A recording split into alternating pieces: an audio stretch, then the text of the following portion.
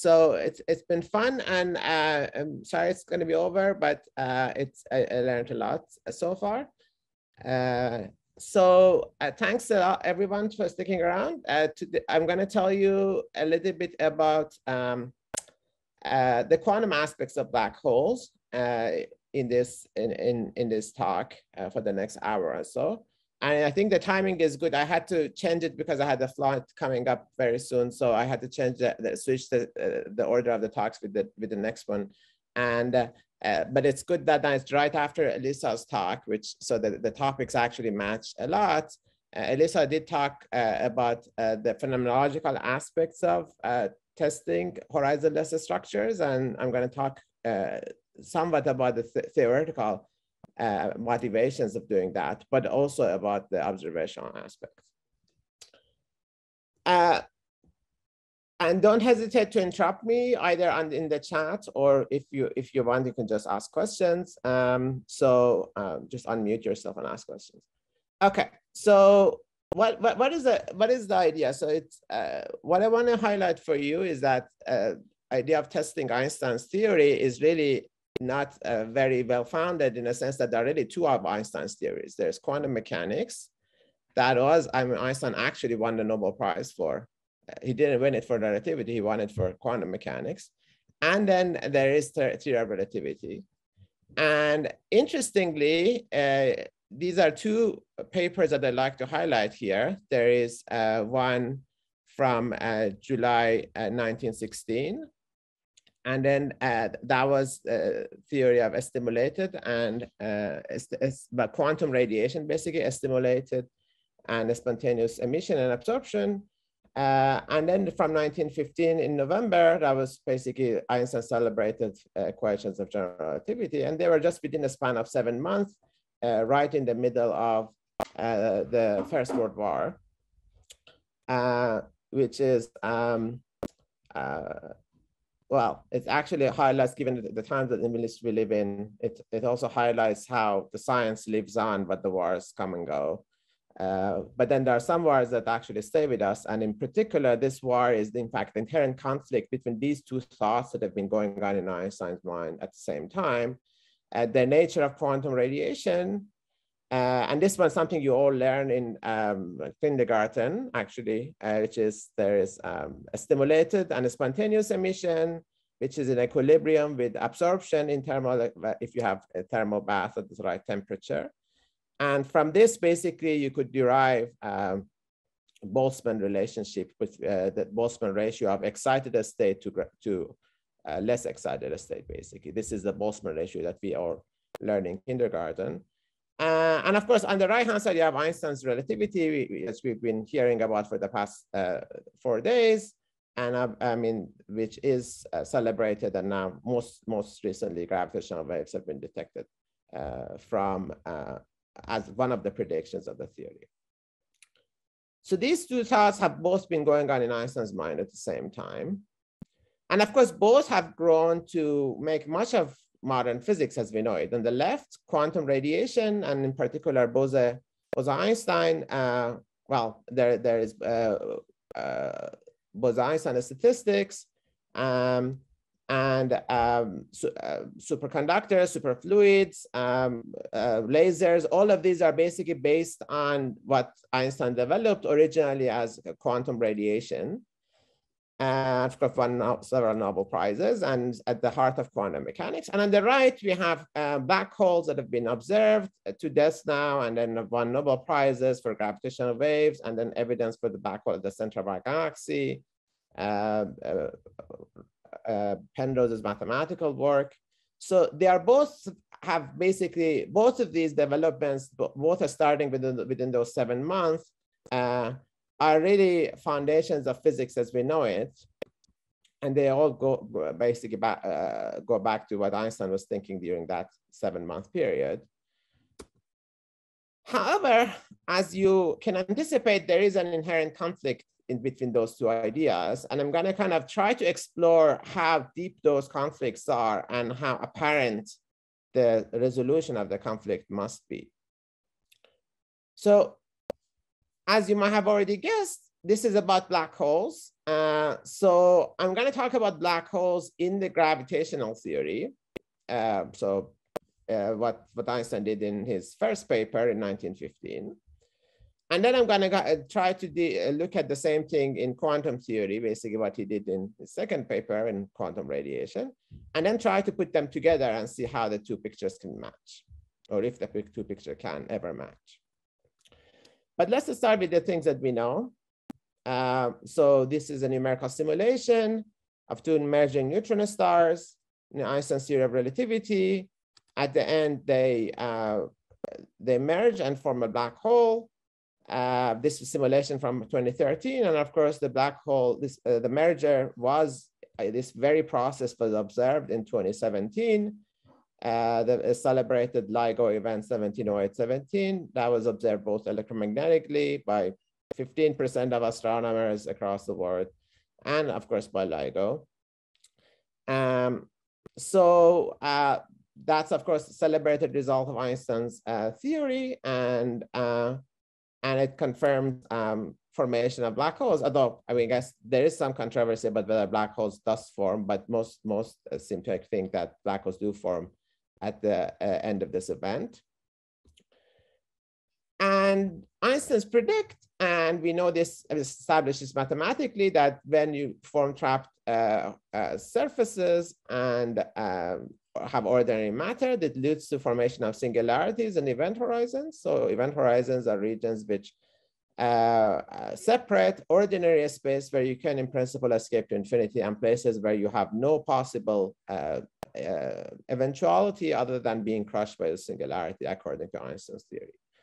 However, there is something that's uh, also foundational to Einstein's theory as far as we can tell, uh, which is horizons, even though they have a global significance, they locally have no significance. If you cross them, you don't notice anything in Einstein's theory. So the, this, this is known as no drama. Of course, uh, building upon this, we know uh, that there has been a lot of developments. In particular, there is a curious the case of black hole thermodynamics that uh, Hawking and collaborators developed uh, that it seems that black holes, even though they seem to be classical in Einstein's theory, because it's a classical theory, they seem to have a temperature. Uh, this uh, you can get from quantum field theory in classical spacetime. They seem to have an entropy, and they obey laws of thermodynamics. The big puzzle that uh, have we've been uh, struggling to so uh, resolve for the past 40 years or so is that what states are counted by this entropy is the entropy that uh, and Hawking proposed area of horizon divided by 4G. Does it actually count as states the same way that uh, we think thermodynamic entropy in other systems, uh, other quantum systems, in fact, works? Uh, and another prediction, which is kind of mainstream, is that black holes, if they are small enough, or if they are, if you wait long enough, they're going to explode. Uh, and this is, uh, this is again, this is just kind of a cartoon of that. Uh, they get hotter and hotter and then eventually just explode. So these are all a standard textbook thing, a textbook uh, material you can find in, again, in your kindergarten uh, books. Uh, but then there's a catch. And that catch has to do with this other thing that Einstein was thinking about, which has to do with quantum radiation or quantum theory of radiation, also in German. So, so all of these important papers were in German indeed.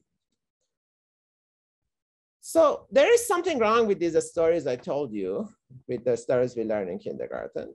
Uh, the first one was in fact pointed out by Stephen Hawking himself. It's known as information paradox. And it seems that basically unitary black hole evaporation is not consistent with uh, local physics and a smooth horizon. So if you want to go by the letter of general relativity and stick to a smooth horizon, looks like information that falls into a black hole is lost.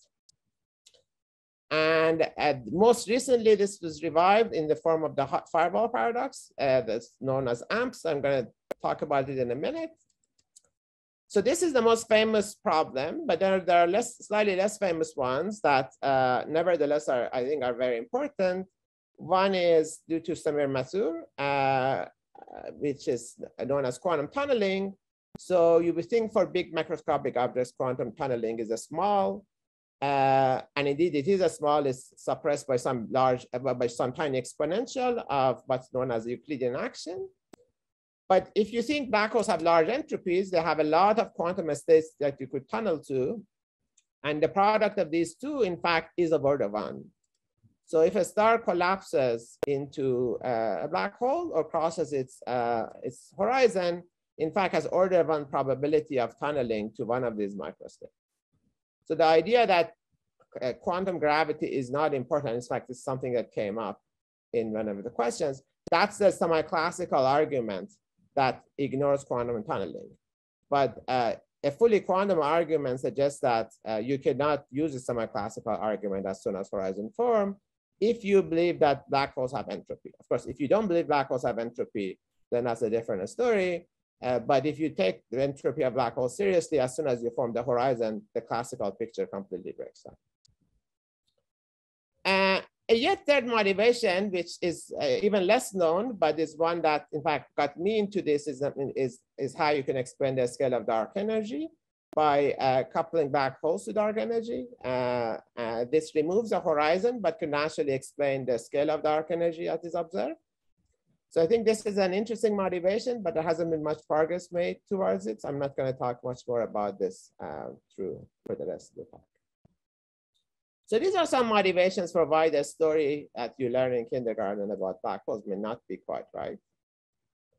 In particular, the one that's kind of more, more recent in everyone's memory is known, known as firewall paradox that these, uh, to be more precise, but this gentleman claim uh, that, collectively known as AMPS these days, but also Samir Mathur had a version of this earlier, right, in, back in 2008, that these four uh, principles that are assumed uh, usually in mainstream uh, to be correct, unitarity of quantum mechanics, no drama at the horizon, quantum field theory, standard quantum field theory outside black holes, and then the, the basically the area law. They are inconsistent, and they claim that the best, uh, the most conservative way of solving it is to getting to get rid of no drama, what they call firewall. So basically, there is drama at the horizon. If an observer falls through the horizon, they're going to feel something. Okay. The nature of drama is yet to be decided, but that's that was their proposal. Notice that this is not a model. It just says that uh, these four cannot be correct. So it is really a paradox. And then the other uh, other researchers uh, have other, uh, basically other assumptions that they prefer to break. For example, some may say quantum mechanics is not unitary. Other may say that black hole, the area law is not really counting the number of states in the Hilbert space.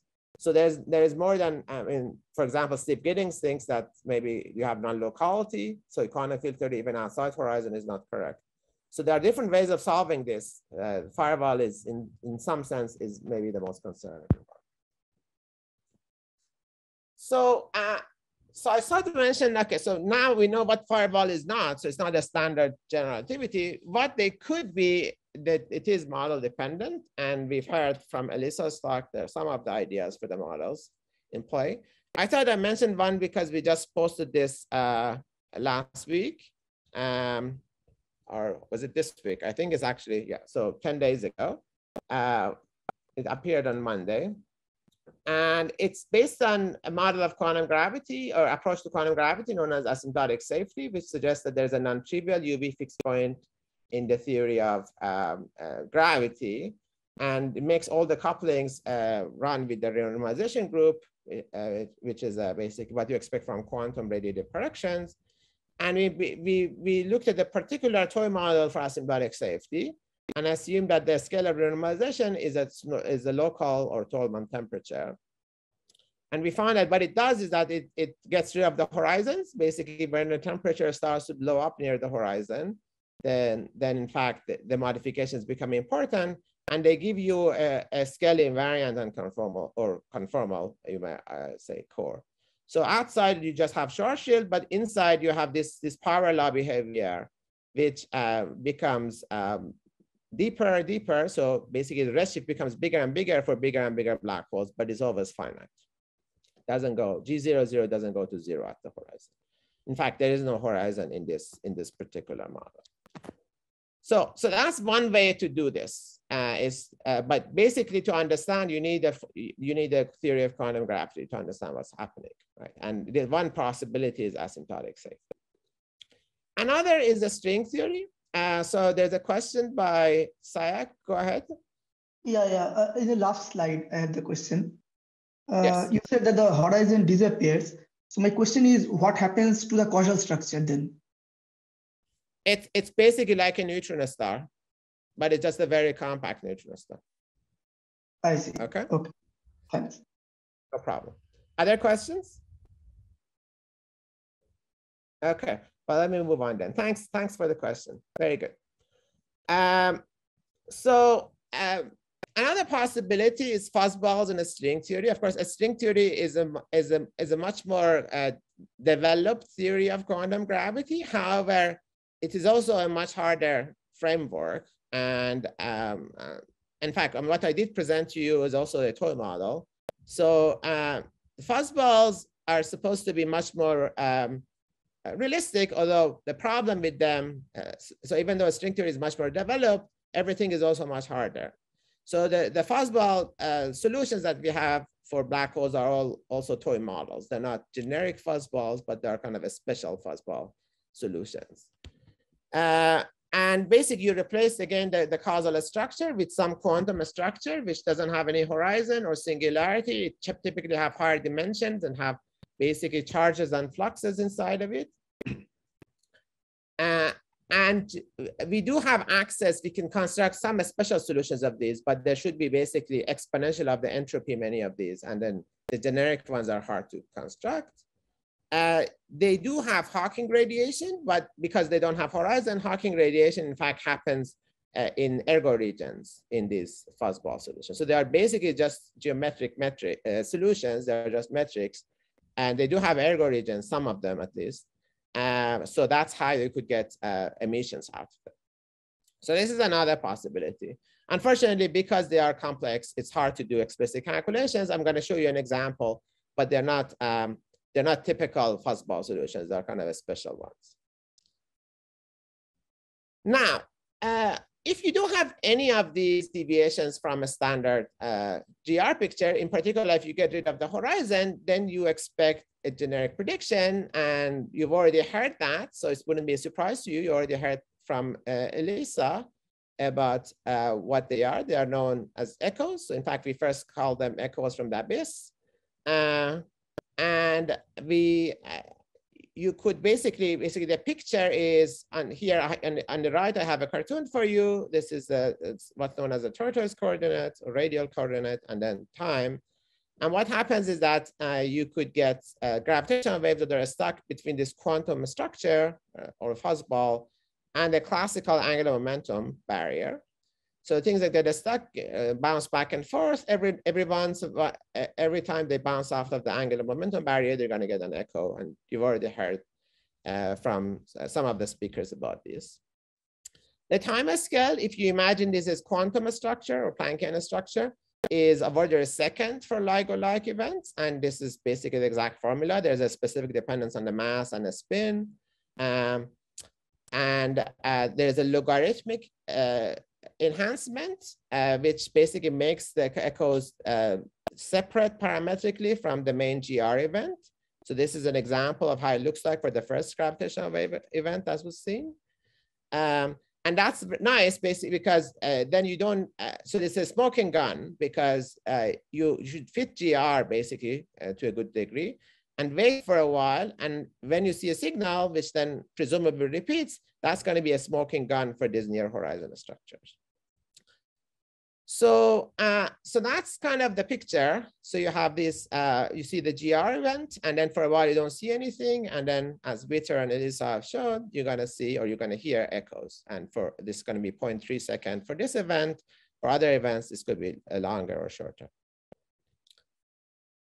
So the next question is, okay, so what you're gonna hear. So I told you when you're going to hear something. Uh, but then what you're going to hear is another question, which is model dependent. but what has become, I think, clear uh, to me and, collaborators is, in fact, there's a variety of arguments that tells you that if you if you take quantum mechanics seriously, there is one universal prediction for what you come out. And um, it seems that, I mean, there are assumptions, but uh, it seems that there are so many ways that this comes out, it's kind of hard to see how you could modify it in a theory that respects quantum mechanics. And I should say that basically quantum mechanics, if you just start from first principles, it's very hard to get around this. So, um, so we first got this from something like a, from fluctuation dissipation theorem. Uh, then we reproduce this, and what I'm what I'm what I'm talking about here is reflectivity of the horizon. So this R is reflectivity, uh, and basically tells you what fraction of energy that hits the horizon can be reflected. Uh, in general relativity is zero. And what, what I'm proposing, and we have basically proof for it from these various arguments, that it goes as a Boltzmann factor. So for high frequencies, in fact, it looks just like general relativity, which is uh, consistent with what Samir Mathur uh, calls fuzzball complementarity. But at low frequencies, you could have significant, uh, significant reflection. Um, so basically we have five different arguments for this. And I'm going to tell you briefly uh, where these arguments come from without giving you too much detail. But uh, the prediction uh, uh of this model is that you're going to get echoes uh, as a stimulated Hawking radiation. Basically, uh, incoming gravitational waves can stimulate Hawking radiation. Hawking radiation is generally weak for large black holes, but they can be stimulated by incoming radiation. Uh, and you're going to see that the maximum at the time that I told you, uh, which is logarithmically delayed, and the maximum free horizon frequency, basically. So if you have a spinning black hole, uh, if you have a non-spinning black hole, most of the reflection is at zero frequency, but for a spinning black hole, you should go to the rest frame of the horizon. So maximum reflection happens at the frequency, which is the, matches the horizon frequency, uh, or m omega h. So these are kind of the cartoon of the arguments, basically. If you try to turn up um, dissipation in some medium, it turns out, in fact, if you maximize the dissipation, you get reflectivity. And that's just the nature of the wave propagation. If you have something that happens, even if it's dissipative, but if it happens in a, in a spatially dependent way, then it's going to lead to reflection. And here I'm just uh, tuning up uh, the reflectivity, sorry, the dissipation in this medium. And in fact, you see that maximum dissipation gives you maximum reflectivity, it turns out. And this is just the nature of wave equation because you violate the WKB approximation. And if you do it for black hole space-time, this gives you uh, the, the Boltzmann reflectivity. Uh, when we first got that, then we thought there must be a reason. And in fact, it turns out you could just do it from, go back to Einstein's paper from 1916, where he had uh, basically derived a, a stimulated emission, uh, a spontaneous emission, and then, sorry, a stimulated emission, a spontaneous emission, and absorption. Uh, so you can just basically take this picture that Einstein developed and uh, assume that a spontaneous emission is Hawking radiation, which is what, in fact, anybody who takes quantum black hole seriously believes. Um, and then say that, okay, now imagine putting this uh, system in a thermal bath. Now, if the temperature is Hawking temperature, then the, the, all these processes should cancel each other, as Einstein suggested.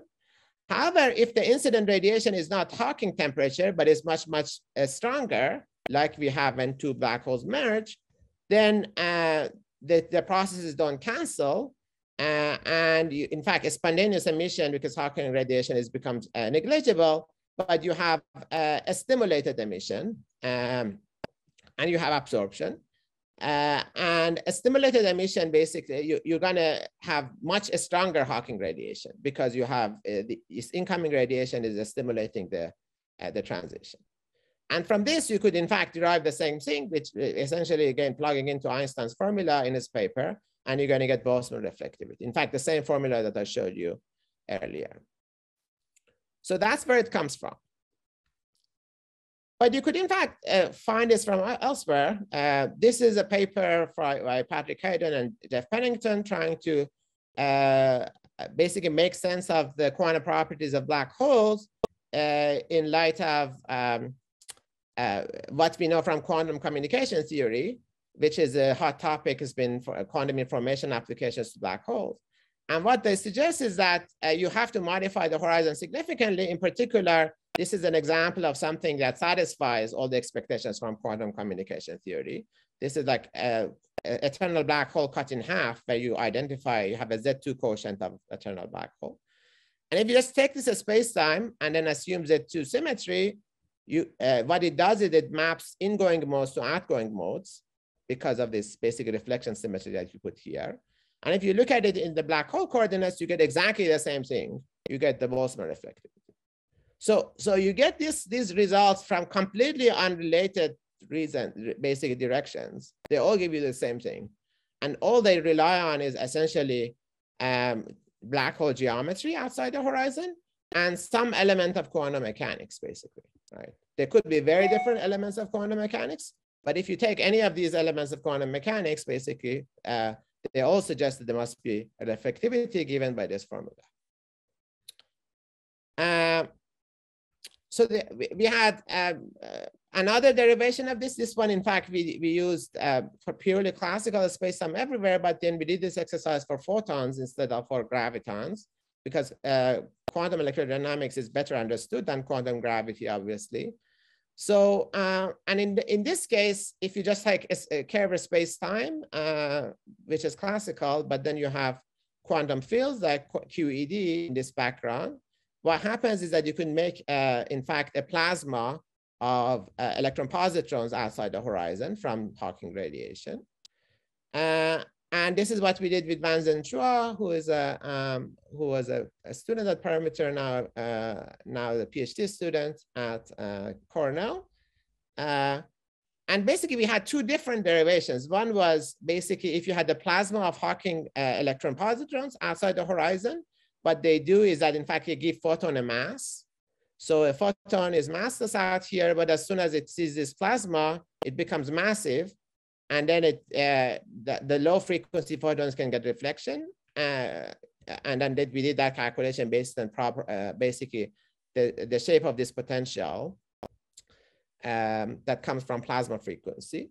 And then the other calculation we did, we just took the Minkowski uh, one loop uh, propagator and, and projected into Rindler coordinates. And they both are supposed to give you basically what these virtual fluctuations that uh, uh, in Minkowski, they're just virtual, but in, in Rindler, they become real particles. They become this Hawking plasma. Uh, what they do to photons, and they both give you the same thing. They give you reflectivity, uh, which for photons go as alpha QED squared, because of course, uh, if there is no interaction, there's nothing happening. So you require interactions, but they also give you this Boltzmann factor. And if you replace alpha QED with alpha gravity, then you, you re reproduce the same formula we had before. With, um, so for photons, just from QED itself, it doesn't give you a lot of reflection because alpha is 1 over 137, which is a small. Uh, but then, of course, gravity is also quantum at some level. So if you want to generalize this formula to include quantum gravity effect, then you would get the same formula we had from previous argument.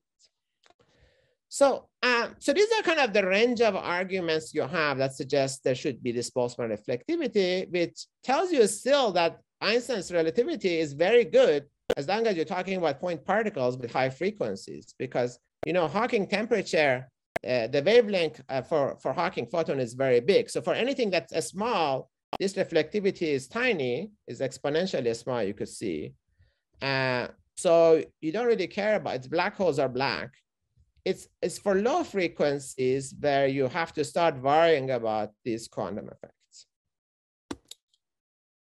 Uh, now, I want to say something else about the time scale. It turns out that uh, even though the Boltzmann reflectivity is kind of new, the, the time scale is less new. In fact, this time scale was first suggested by Sekino and Susskind from uh, basic chaotic. If you think uh, black holes are quantum chaotic objects, uh, they propose that this time scale, which is logarithmically long, um, is um, uh, is something you expect from uh, uh basically it is the fastest that things can get scrambled in a quantum chaotic system. Um, so this was first proposed by them as, as scrambling time. And what my PhD student, Krishan Saraswat, showed, uh, so in fact, it was a very interesting thing to notice, is that in all situations where scrambling time can be calculated uh, in these AdS-CFT uh, prescriptions, in holographic prescriptions, they are the same as the echo time. So they are exactly the same in all situations where they can be calculated. So it seems that, in fact, there is, uh, it's not just the uh, amplitude, it's not the, just the presence of the echoes that comes from uh, quantum information, but also even the time scale, something that has already been there in the literature before. And uh, we could uh, kind of try to make the connections cl uh, clearer. Um, it turns out that um, not, one way of understanding black holes is in terms of random matrices.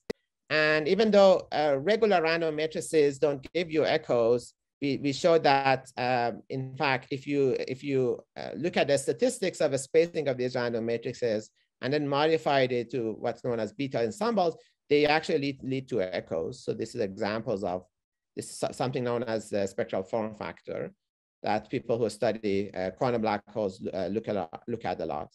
And then you see these echoes in these models. So um, and then you could look at the spacing of energies uh, or spectra and, and see that what type of uh, spacings in fact relate to echoes.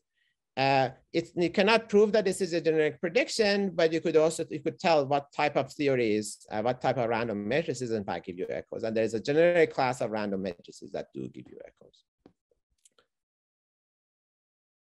So that's that's where the echoes are.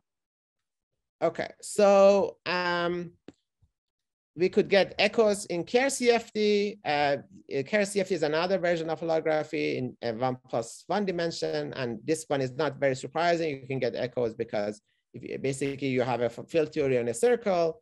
So what goes around comes around. And uh, so this, I'm not going to tell you about any details, but uh, we basically built uh, basically a structure on top of uh, this hidden conformal symmetry of Kerr black holes and showed that they lead generically to echoes uh, Boltzmann echoes.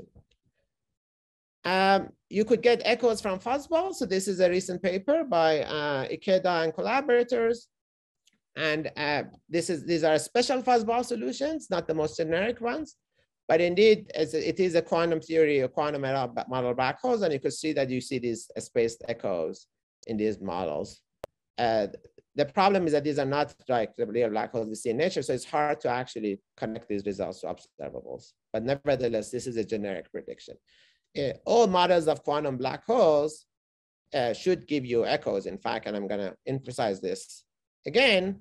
In fact, what the reason that all models of quantum black holes should give you echoes is that if you don't have echoes, basically, if you take classical general relativity and you look at inside the angular momentum barrier, it turns out that if Hawking was correct, it fills up with Hawking radiation. But this is an infinite range. You know, this this this this this distance, the tortoise coordinate goes to minus infinity.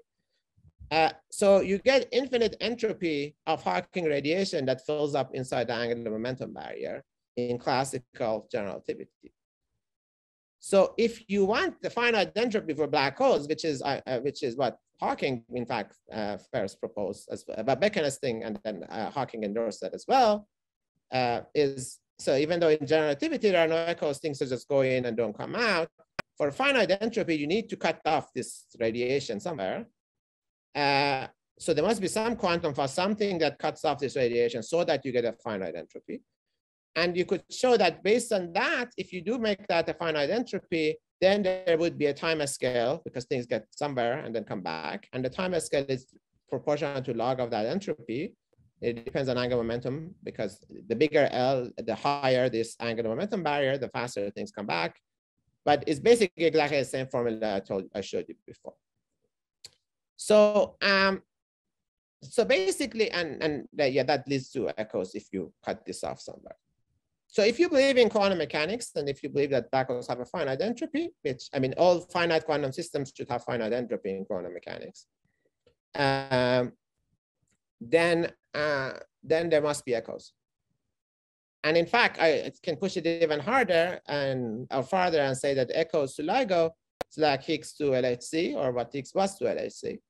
There was no guarantee that it would have been observed, but if you took the principles of quantum mechanics something should have happened at those scales where uh, basically LHC was looking. And Higgs was the simplest ex explanation. Uh, and basically, you could kind of follow the same logic for unitarity, effective field theory, but instead, basically, instead of gauge symmetries of a standard model, you should use gauge symmetries of uh, gravity. And then uh, you should expect something like echoes, because otherwise, basically, all these arguments I told you, uh, which relied on quantum mechanics, break down. So, um, so let me stop here and ask whether there are any questions. Uh, uh, Niayesh, can I ask a question? Absolutely.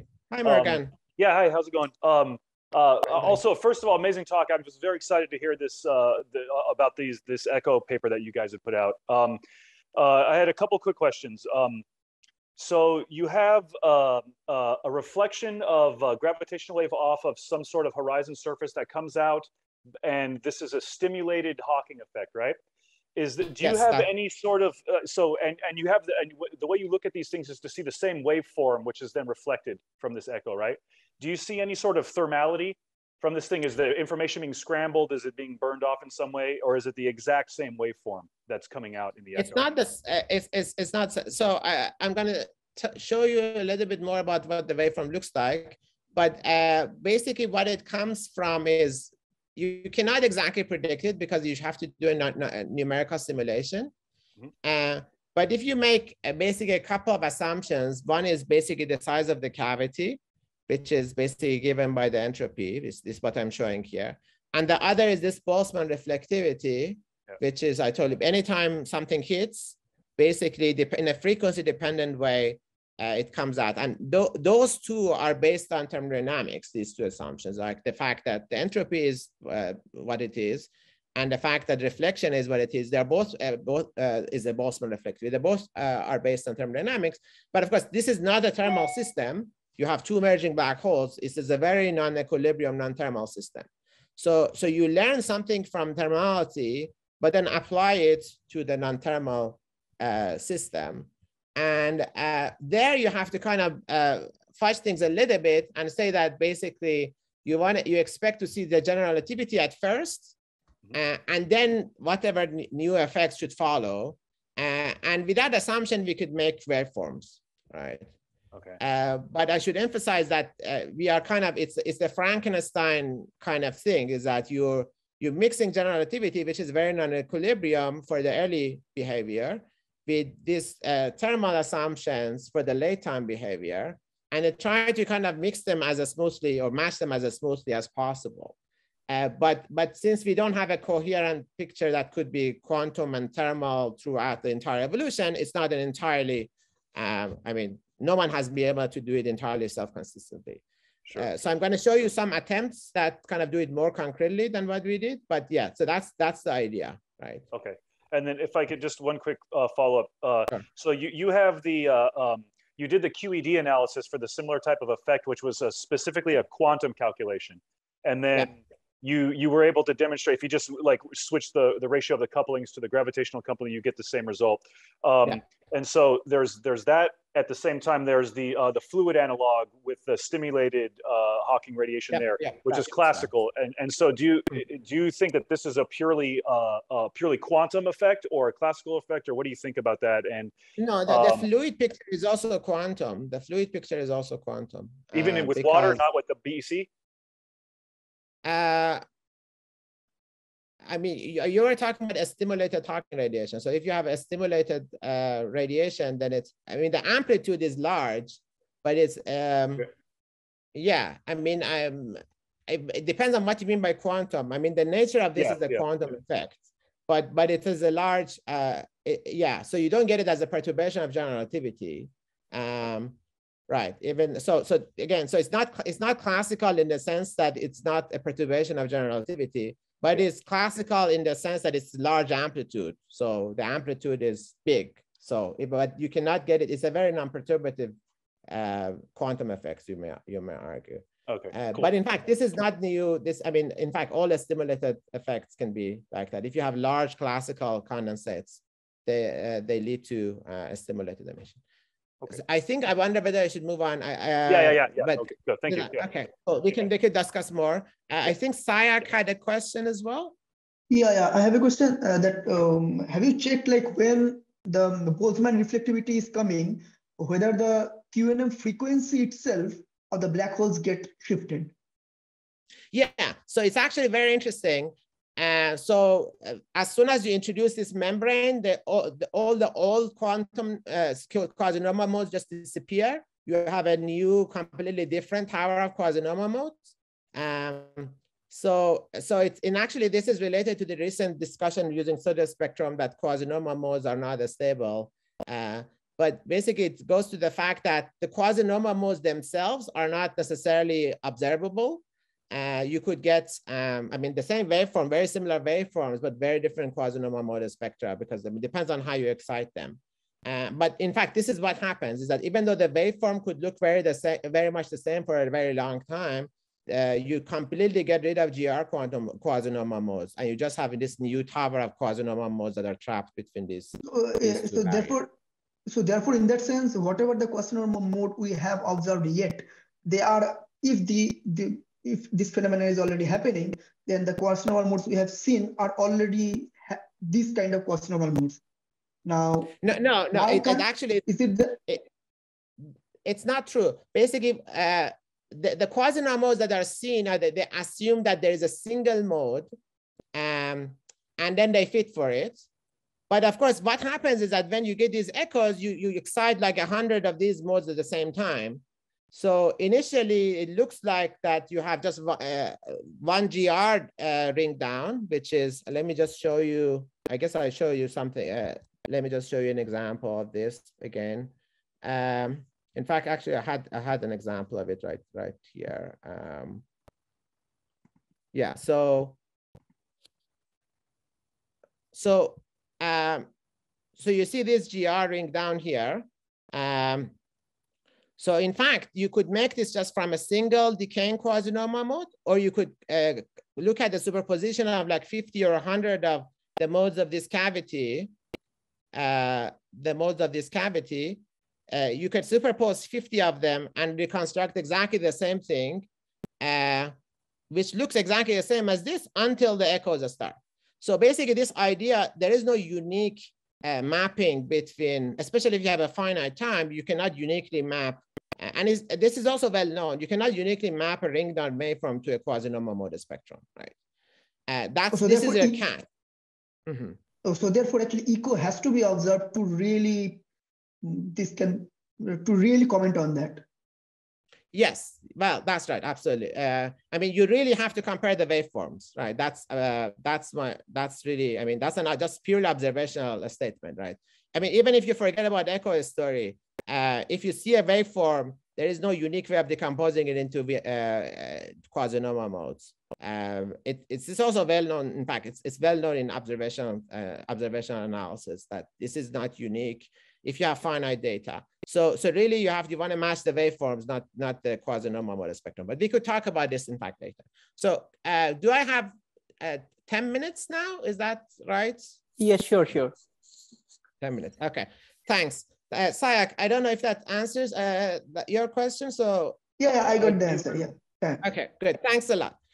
Okay, so uh, the final 10 minutes, I wanna tell you, so I told you this a story about what quantum black holes should look like, and in particular advocate why if you believe in quantum mechanics, you should believe in echoes.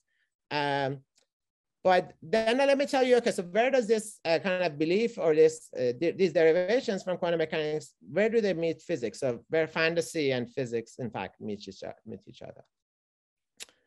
So uh, first we in fact, this was the first time I ever did anything on black holes uh, with uh, two, uh, in fact, I had two, two students, uh, Jahed Abedi, who was a visiting PhD student at Perimeter, and Hannah Dykaar, who was a visiting undergraduate student. We looked at um, um, whether you could look, uh, find some kind of replicates of the original ring down that repeat as echoes and there was zero uh, GR involved. We just, it was just pure data analysis and we didn't really know uh, how these echoes should look like. This was shortly, uh, like a few months after LIGO originally released its result. It was in 2016. Um, and we nobody knew how these echoes should look like. So we kind of made up something as best as we, we could have guessed, and then look for some evidence. But the important thing is, in fact, we had to combine all the evidence, all the events that were released by LIGO. There were three events basically, uh, 150914, and then there was an LVT event and the Boxing Day events. So when we combine them, we, we found evidence for echoes. This is weak uh, as around 1% p-value, uh, which is I mean, two and a half sigma. So it's far from a detection, but it's something that's in tentative evidence. Uh, uh but we had to combine the three events. And this is something that most people fail to do. They just look at events one by one. But if you don't, you have to combine them to actually something, to see something significant. And even then, it's not terribly significant. So it, the significance is not very low. Incidentally, uh, Hannah's mother, who was my colleague, uh, went on to win the Nobel Prize uh, in physics two years later. So she certainly did, does have good pedigree. Um, um, so, uh, um, now going back to the result that we found, it, it turns out that anyone who tried to reproduce it reproduced it. So this is an example of a LIGO of a team that is uh, uh, part, part of LIGO collaboration. Uh, it's not the LIGO paper, but it's part of LIGO collaboration. But basically, they, they use the same methodology that we did, and uh, they looked for combining uh, different events. And then they found a p-value of 2%, which in fact is 2% plus or minus 5%, and we, we reported a p-value of 1%. And that's, that's basically what, uh, two, uh, this is kind of the range of p-values they had. So they were, they were consistent, and this is around um, two and a half sigma, as I said. In fact, if you look at the first two events, it was 0.4%, which is a three sigma uh, evidence. However, the problem already appear uh, clear, became clear at that point that somehow some events don't show evidence for echoes, but others do. And we don't really know why. It's either that just the whole thing was a, a statistical fluke, or maybe not all events are supposed to have echoes. I mean, maybe they're, they're fainter in some events and brighter in others. And we just don't know, just as well as we don't know how they look, how, how bright they should be. Uh, they could be brighter in some and fainter in others. So, um, so indeed, our result was reproduced. And there have been other uh, reproductions. So this is a, another uh, team that was part of LIGO collaboration. And they used a, a method that is widely used by LIGO, known as coherent wave burst. And they found for these two events, uh, uh, they found echoes at 0.2 and 0.1 second, uh, which was exactly the same times that we computed from the formula I presented to you uh, for these two events. Uh, so if you take the parameters of those two events. So these, these are the times that come from Planck scale structure near uh, horizon or from a scrambling time. And these are the time scale that these guys, these gentlemen found. Uh, and this is what they found. Basically, look at the uh, frequency time domain from uh, this is using CWB method. And they found these signals that follow the main event. And, and the p-values again were between 0.1% to 1%. And you could also compute, uh, so this is the main event. These are the possible echoes. And you could also show that this is analysis we did uh, kind of precisely that the, the, the position in the sky for the echoes and the main event seem to coincide with each other more or less. So, so the Bayes factor, the, it seems that they're not exactly in the same place, but in fact, the Bayes factor for coincidence is five. So that means that they're more likely to be the same as opposed to different. Uh, the, the answer is, is model dependent. You could see here, there is no unique way of doing this reconstruction of echoes because there's, there is uh, there is a model, some model dependence there, but non, nonetheless, this is a model agnostic way of doing this. So, um, so I should warn you that this is going to get a little bit complex. So if you want to tune out, that's okay, because essentially there are a lot of different people who looked at it and then got different results. So I'm just going to tell you the, the, the takeaway from the next five minutes is that it's just complicated. Uh, and the answer depends on how you do it. So this is an example from a Japanese group that used the same method that we did, but for the O2 events, and they got a p-value of 4%. Uh, now, they did the other analysis with different waveforms in their paper, and that one didn't uh, show anything. But in fact, if you use the same, uh, same waveform that we use for O1 and then apply it to O2, then you get also a, a relatively small p-value, which is around 4%. This is another group, Bob Holdom uh, from University of Toronto, and he claims to have seen evidence for echoes in all these events at relatively small p-values, and they're all consistent with the time scale you expect from basically the formula I showed you. This eta uh, in the model I showed you should be two. He claimed it's not exactly two, but they're all consistent somewhere around 1.7. So, um, so that's that's that's basically this result. Uh, we looked at binary neutron star events and then showed that uh, it seems that after one second, there is some evidence for echoes uh, by looking at particular, basically things that repeat at 72 hertz and multiples of 72 hertz. Um, and if you uh, if you look at uh, all the Kelspher effect, it was a four sigma evidence. It turns out, in fact, turns out this one second, uh, and this is an independent analysis, they also uh, found Gill that that's when you expect to form a black hole after the formation, after the uh, merger of the two neutron stars. So I, while no one else actually have tried to reproduce our result here um, in, the, in this particular methodology that we use, in fact, the electromagnetic observation suggests that the black hole forms exactly when we see the echoes. Because of course, for this particular event, the, you expect to see the echoes when the black holes form. And after that, you're going to show the see the echoes quickly. Now, we don't know. There could be something else happening here uh, as well. It doesn't, uh, I mean, there is a lot of um, astrophysics happening in this problem. So this doesn't necessarily have to be echoes. And uh, the last analysis I want to show you is uh, the one that's most recent, where we actually had a very specific template, because now this is uh, five years later, and we actually have perfected, we have this model for quantum black holes based on Boltzmann reflectivity uh, and, and the time scale, uh, scrambling time. So we have a much better understanding of quantum black holes since, uh, well, for, uh, since five years ago. And we, we know the time scale and we know the frequency at which you should see these echoes. And then we, there seems to be that in the spectrum, uh, spectrogram, there seems to be uh, hints of these echoes. And then we could use the CWB method again that I showed you, a coherent wave burst method to look for echoes. And then this is the same plots I showed you for a different event. And this is now for 1905-21.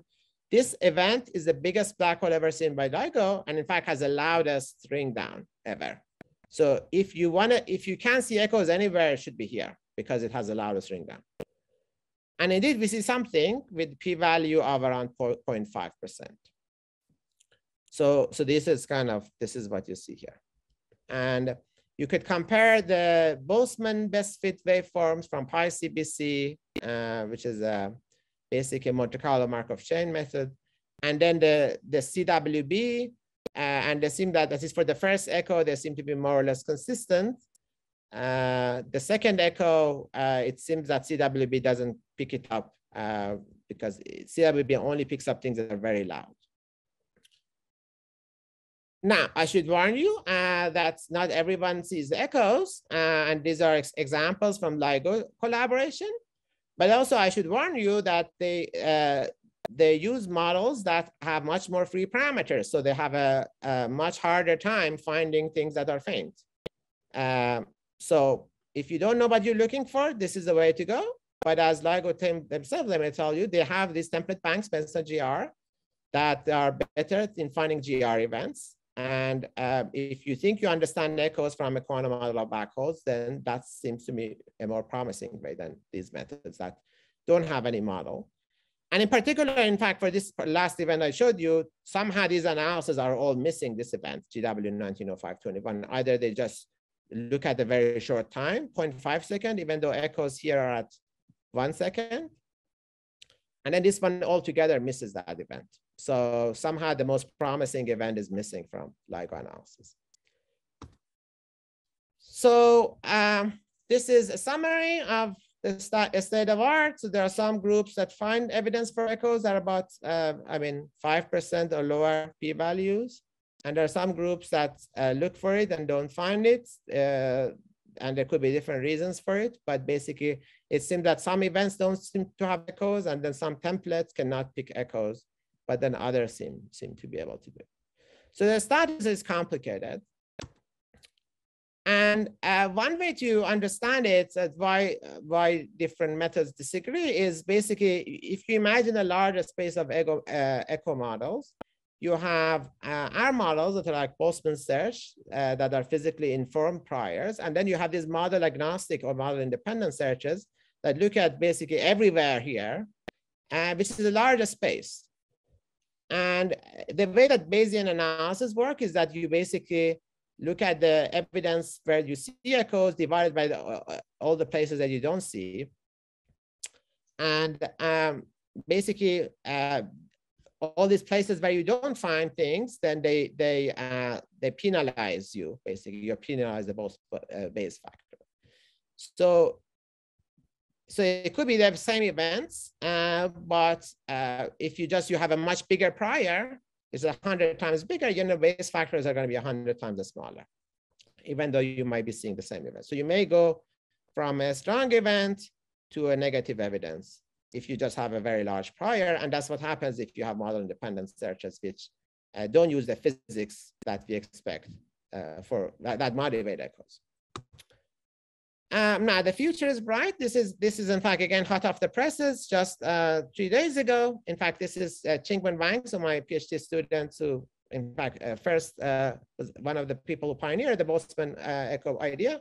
So uh, she then collaborated with Yanbei Chen and Mark Scheel and her group and his group in Caltech to uh, try to make a hybrid model for uh, for new Boltzmann echoes or just yeah Boltzmann echoes from numerical relativity. So they have basically somehow matched numerical relativity uh, and uh, PPN, ana uh, PPN analysis and Teukolsky equation, uh, and you could look at their papers for the details.